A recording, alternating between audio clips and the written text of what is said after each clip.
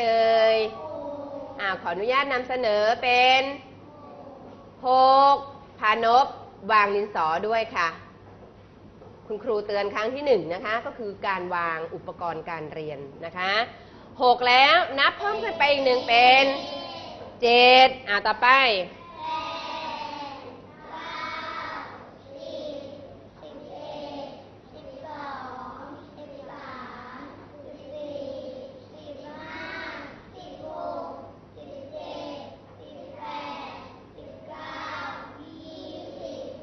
20จำนวนสุดท้ายเห็นไหมคะ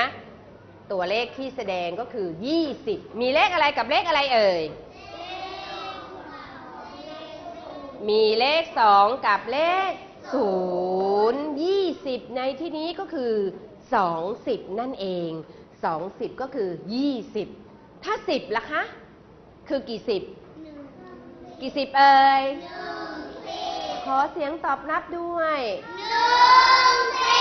โอ้โห เยี่ยมมาก น้องบอลเก่งมากเลยเห็นไหมคะ น้องบอลใช้ ลูกแก้ว ใช่ไหมลูกโอ้ฝึกนับจำนวน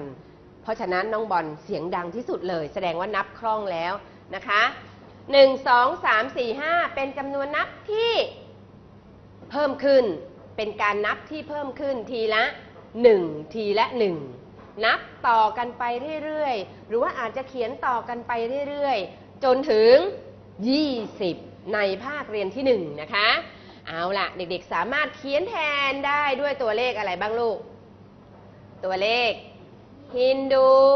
อาราบิก ตัวเลข ไทย แล้วเขียนแทนด้วยตัวหนังสือ เด็กๆ ลืมหรือยังคะ ไหนใครลืมแล้ว สอนจบไปแล้ว 1ถึง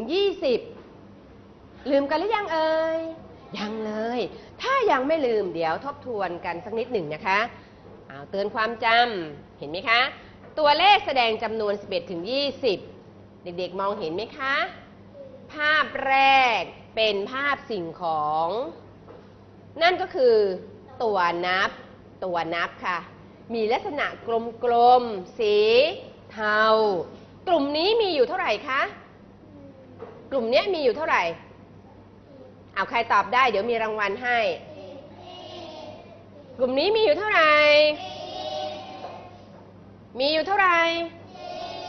ไหนใครตอบสิบยกมือ ไหนใครตอบสิบเอ็ด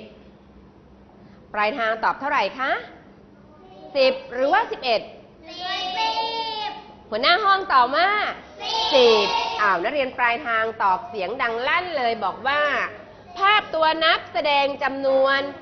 10 10 ในที่นี้ก็คือ 1 10 กับอีกกี่หน่วยเอ่ย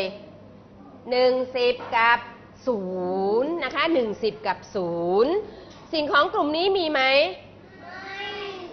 มีตัวนับไหมคะ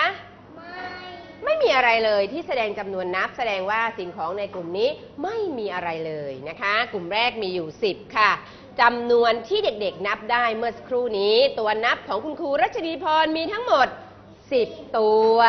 นั่นก็คือ 10 กับ 0 เห็นไหมคะ ตรงนี้ 10 ภาพนี้ 10 ภาพนี้เป็นเท่าไหร่เอ่ย เป็นเท่าไหร่คะ เป็น0เห็นไหมคะ ภาพนี้เป็น 0 ก็คือ1 10กับ0นะคะ1 10 กับ 0 เราสามารถเขียนแทนได้ด้วยตัวเลขอะไรบ้างเอ่ย เลข 10 ฮินดูอาราบิก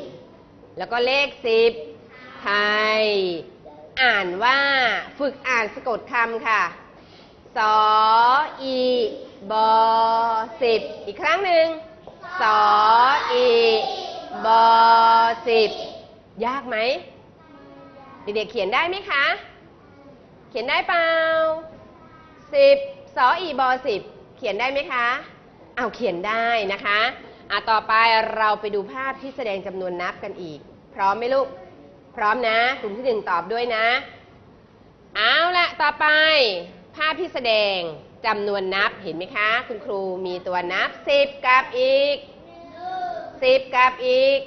10กับอีกหนึ่งค่ะ10กับอีกหนึ่งก็คือ10เท่าไหร่11มีเลขอะไรกับเลขอะไร เลขหนึ่งกับเลขหนึ่งเห็นไหมคะ เราสามารถเขียนแทนได้ด้วยตัวเลข 11 ฮินดูอาราบิก 11 ไทย ฝึกอ่านสะกดคำค่ะ สออีบอสิบอเอดอเอ็ดสิบเอ็ดยากไหม ยากไหม ยากหรือไม่ยาก อ้าวไม่ยากเลยนะคะ เป็นการทบทวนในเรื่องของจำนวนนับ 10 ถึง 20 เราสามารถเขียนแทนได้ด้วยตัวเลขฮินดูอาราบิก ตัวเลขไทย แล้วก็ตัวหนังสือด้วย ไหนใครเขียนไม่ได้ เขียนได้ไหมคะอ้าวถ้าเขียนได้แล้ววันนี้เด็กๆทบทวนกันสักนิดหนึ่งนะคะ คุณครูมีจำนวนนับ จำนวนนับมาให้เด็กๆดู แล้วให้เด็กๆของครูเขียนแทนด้วยตัวหนังสืออ้าวให้หยิบสมุดขึ้นมาเลยค่ะอ่าหยิบสมุดขึ้นมา ให้เขียนแทนด้วยตัวหนังสือนะคะจำนวนแรกค่ะที่ปรากฏนะคะ เป็นการทบทวนความรู้เดิมค่ะ เดี๋ยวเราไปดูกันเลย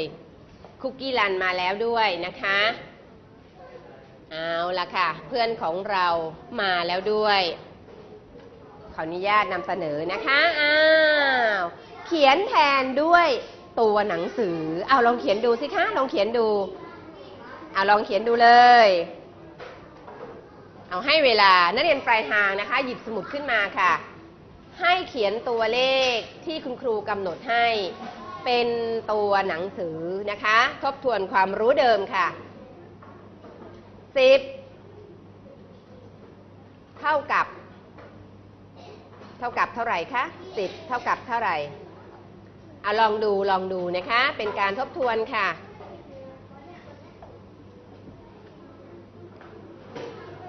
โอเคนะอ่าทบทวนนะคะ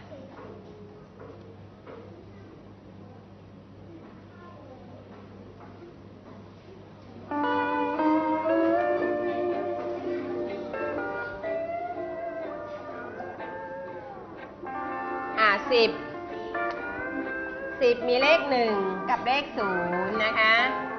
เขียนแทนด้วยตัวหนังสือ เท่าไหร่ลูกสออะไรเอ่ยสออีบอสิบอ้าว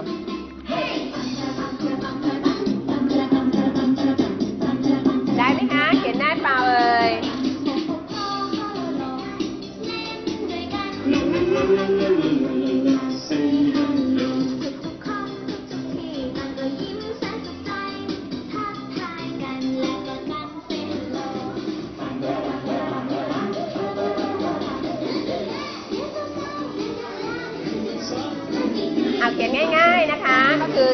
10 เท่ากับสออีบอ10 ค่ะ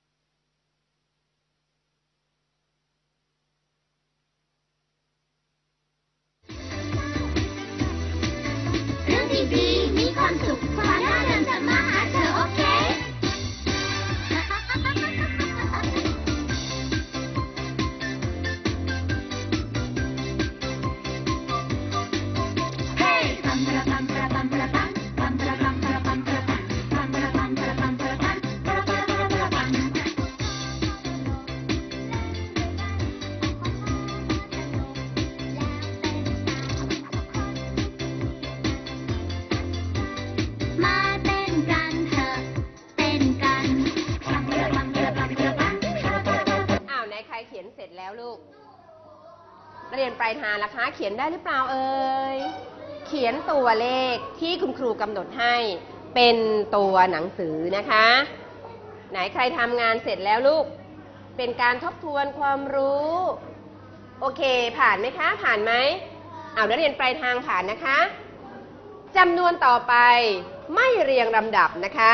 แล้วแต่คุณครูจับหยิบขึ้นมาหรือหยิบจับขึ้นมา เดี๋ยวเราไปดูกันต่อเลยค่ะ จำนวนนี้ ขออนุญาตนะคะ ขออนุญาตนิดหนึ่งนะ เอาละอ่าจำนวนนี้ค่ะ เท่าไหร่เอ่ย เอาสิบแปดลองเขียนให้เป็นตัวหนังสือดูสิลูก เขียนได้ไหม คนไหนเขียนไม่ได้ ต้องฝึกเขียนให้ได้นะคะ อาจจะมีในแบบทดสอบของคุณครู รัชนีพรก็ได้ Thank you.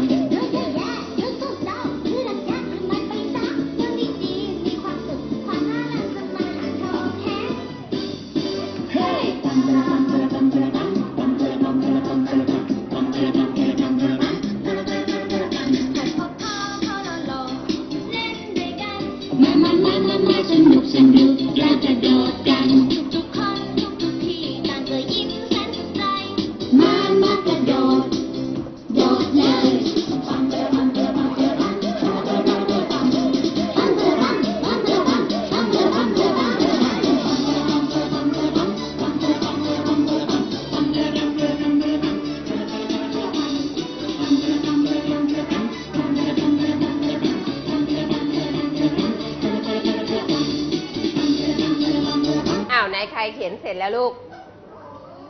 เขียนเสร็จแล้ว ไหนลองฝึกอ่านสะกดคำพร้อมๆกันคำว่า 18 ดู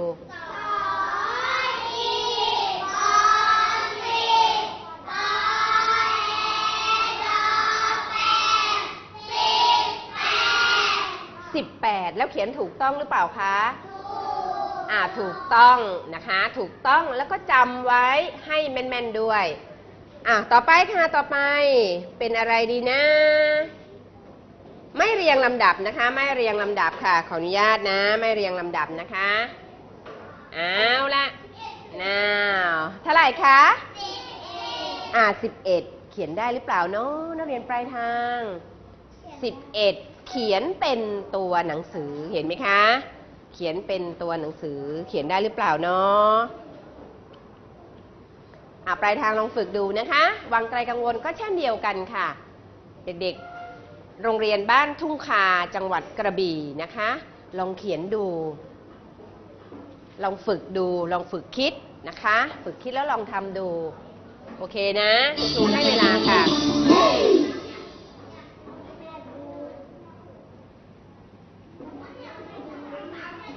เพลง